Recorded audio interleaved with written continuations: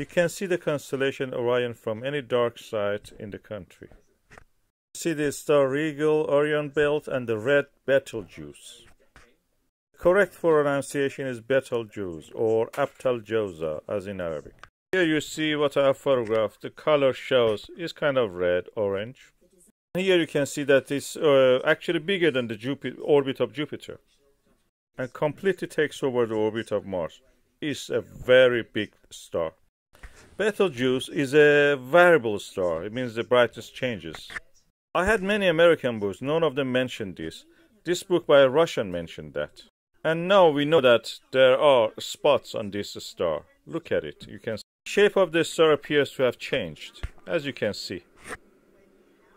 One possibility is shown in this image is illustration.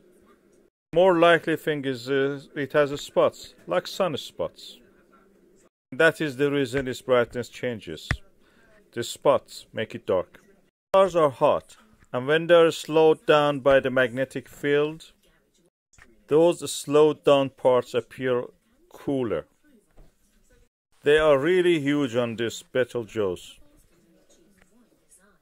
Betelgeuse will become a potentially supernova in the next 10,000 years. If we are lucky, we will see it in our lifetime. As you can see here, have a look.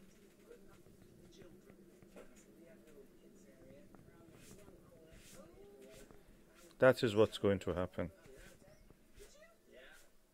Will be today or tomorrow or next year.